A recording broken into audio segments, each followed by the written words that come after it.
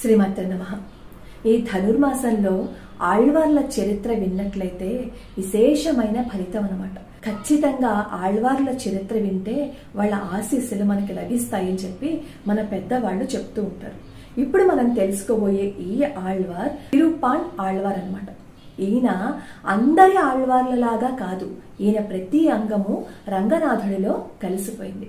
అలాంటి అద్భుతమైన ఆయన చరిత్ర తెలుసుకునే ముందు రంగనాథ స్వామి వారి పాదపద్మానికి నమస్కరిస్తూ వీడియోలోకి వెళ్ళిపోతాం కావేరీ నది మీద నుంచి వీచిన గాలి కూడా మనకి తగిలితే మనకి మోక్షం వస్తుందట. అలాంటిది కావేరీ నది పరివాహక ప్రాంతాల్లో ఉండే ప్రజలు ఇంకెంతటి అదృష్టవంతులో కదా? దురదృష్టం కొద్దీ మనమే అలాంటి అద్భుతమైన విశేషమైన నదులను కలుషితం చేసేసుకుంటున్నాం.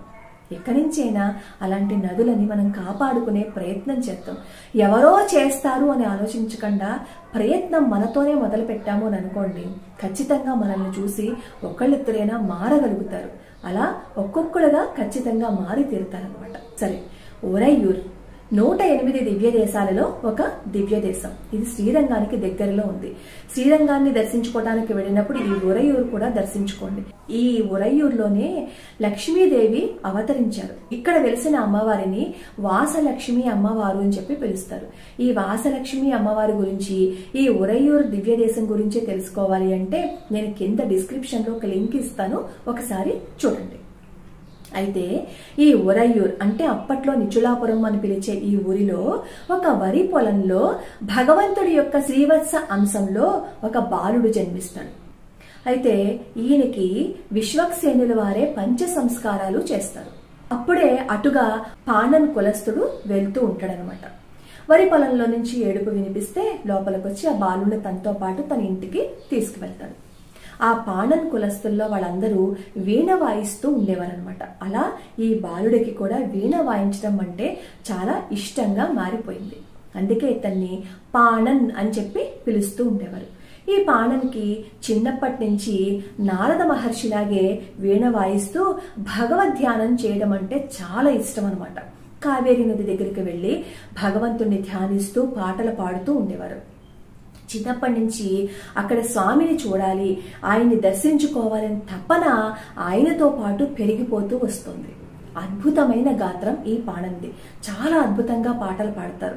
ఈయన పాటలు పాడుతుంటే దేవతలు కూడా వచ్చి ఈయన పాట వింటూ ఉండేవారట. అంతటి అద్భుతమైన గాత్రం ఈ పాడంది. ఈయనకి ఆలయ ప్రవేశం లేకపోవటం వల్ల కావేరీ నది ఒడ్డునే పాటలు పాడుకుంటూ ఉండేవారు.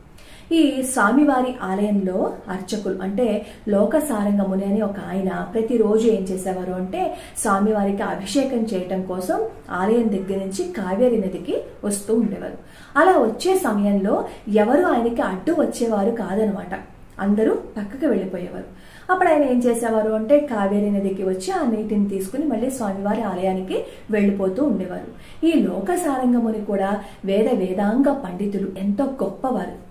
ఒకరోజు ఈ పాణన్ కావేరి నదీ తీరంలో స్వామివారిని కీర్తిస్తూ పాటలు పాడుతూ అలానే బాహ్య ప్రపంచాన్ని మర్చిపోయి అలా ఉండిపోతారు.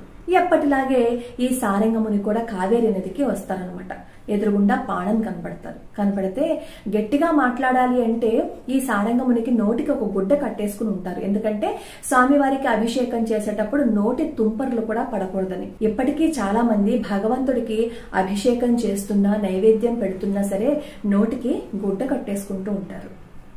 అలా నోటికి గుడ్డ కట్టేసుకుని ఉండటం వల్ల ఈ లోక సారంగమును ఏం చేస్తారు అంటే ఒక రాయిని తీసుకుని ఈ పానని మీదకి విసురుతారు. బాహ్య ప్రపంచాన్ని మర్చిపోయి పాటలు పాడుకుంటున్న ఈ పాణన్కి రాయి తగలంగానే ఒక్కసారి ఉలికపాటుగా లేస్తాడనమాట ఎదురుగుండా సారంగముని కనిపిస్తారు. కనిపించంగానే వెంటనే భయంతో స్వామి స్వామి క్షమించండి. నేను స్వామివారి పాటలు పాడుకుంటూ మైమర్చిపోయాను. నన్ను క్షమించండి స్వామి అని చెప్పి బతిమాలుకుంటాడు. బతిమాలుకుని అక్కడి నుంచి వెళ్ళిపోతారు కానీ పాపం ఈ రాయి వచ్చి పానానికి తగిలింది కదా ఇక్కడి నుంచి నెత్తురు వస్తుంది. అయినా సరే ఒక చిన్న మాట కూడా అనకుండా తనకి దెబ్బ తగిలింది అని కూడా ఆలోచించకుండా నేను అపరాధం చేసేసానే అని చెప్పి బాధపడిపోతూ అక్కడి నుంచి వెళ్ళిపోతాను వెళ్ళిపోతే కావేరీ నదిలో నీళ్ళు తీసుకుని లోకసారంగములు వస్తున్నారే గాని ఆయన మనసులో అంతా ఒకటే ఆలోచన. అయ్యో నేను తప్పు చేశాను. అతన్ని అనవసరంగా తిట్టానే. అతను కావేరీ నది దగ్గరే ఉన్నాడు కానీ అతని మనసు అంతా భగవంతుడి పాదాల మీదే ఉంది. నేను ఇక్కడికి వచ్చాను కానీ మూర్ఖంగా ఏమీ ఆలోచించకుండా పాపం అతన్ని తిట్టానని చెప్పి బాధపడుతూ మళ్ళీ స్వామివారి ఆలయానికి వెళ్ళిపోతారు ఈ లోకసారంగం వెళ్ళిపోయిన తర్వాత ఈ గర్భాలయం తలుపులు తీస్తారు. తలుపులు తీస్తే స్వామివారి నుదుటి మీద రక్తం వస్తూ ఉంటుంది. వెంటనే కంగారు పడిపోతారు. స్వామి ఏమైంది? స్వామి ఏమైంది? అని. అప్పుడు ఈయనకి గుర్తుకొస్తుంది అనమాట అయ్యో నేను ఇందాక పాడన్ని కొట్టాను కదా అక్కడ దెబ్బ తగిలింది కదా అని. అదే రోజు ఈ సారంగమునికి స్వామివారు కనిపించి నువ్వు పాణన్ని నీ భుజాల మీద ఎక్కించుకుని మన ఆలయానికి తీసుకురా అని చెప్పి చెప్తారు.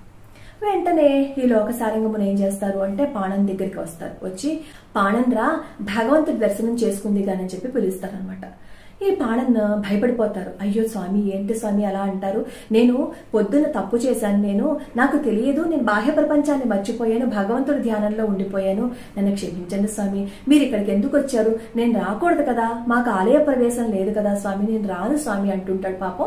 చాలా అమాయకంగా. కానీ లోకసారంగముడు అంటారు నన్ను క్షమించు పాడని నేను ఎంతో చదువుకున్నాను కానీ తప్పు చేశాను. కాబట్టి నువ్వు ఒక్కసారి రా. స్వామి నిన్ను పిలిచారు. నిన్ను తీసుకురమ్మని నన్ను పంపించారు. దా నా భుజాల మీదకి ఎక్కువ అని చెప్పి అంటాడనమాట. అంటే ఈ పాణన్కి ఇంకా ఇంకా బాధపడిపోతుంటారు ఆయన అలా అంటుంటే. లేదు స్వామి నేను రాలేను స్వామి అని ఈయన. వెంటనే ఈ లోకసారంగమును ఏం చేస్తారంటే బలవంతంగా ఆ పాణని తీసుకుని తన భుజాల మీద ఎక్కించుకుని స్వామివారి ఆలయానికి తీసుకెళ్ళిపోతారు అసలు అలా తీసుకెళ్తూ ఉంటుంటే ఈ పాణన్కి ఏం జరుగుతుందో అర్థం కావట్లేదు. మై మరిచిపోతారనమాట అబ్బా నేను ఇన్నాళ్ళకి నేను నా స్వామిని చూస్తున్నానా? ఇన్నాళ్ళు నేను స్వామి కోసమే కదా నేను వేచి చూస్తున్నాను? అలాంటి అదృష్టం నాకు ఈ రోజు వచ్చిందా అని చెప్పి ఆయన ఆలయంలోకి వెళ్తూ ఉంటే స్వామివారి పాదాలు కనిపిస్తాయి అనమాట ఆ పాదాలు చూసే ఆయన స్పృహ తప్పి పడిపోతారు ఈ పాణన్ అనమాట స్పృహ తప్పి పడిపోయి కొంచెం సేపు అయిన తర్వాత మళ్ళీ తేరుకుంటారు. తేరుకుని లోపలికి వచ్చి చూసి ఆ దివ్యమంగళ విగ్రహాన్ని చూస్తూ ఉంటారనమాట స్వామివారి పాదాలను చూస్తారు కదా పాలన్ను ఆ పాదాలను ఎలా చూసారంటే ఒక చిన్న పిల్లాడు తన పాలు తాగుతూ తల్లి రొమ్ము వైపు ఎలా చూస్తూ ఉంటాడో ఈ పాలను కూడా అచ్చంగా స్వామివారి పాదాలని అలానే చూశారనమాట చూసి ఆ పాదాలను చూస్తూ వర్ణిస్తారు. వర్ణిస్తూ స్వామి ఇన్నాళ్ళగా నా జీవితం ధన్యమైపోయింది. ఎన్నాళ్ళ తర్వాత నిన్ను చూశాను కదా. ఎన్ని సంవత్సరాల నా నిరీక్షణ ఫలించింది కదా అంటూ ఒక పాసురాన్ని పాడతారు.